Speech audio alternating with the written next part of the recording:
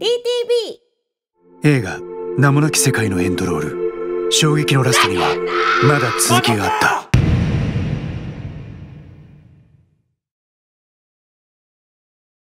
誰だお前？交渉や小野瀬。誠誠さん。俺を裏切ったら妹がどうなるか。K は人を支配することに取りつかれた男だ。一日あれば。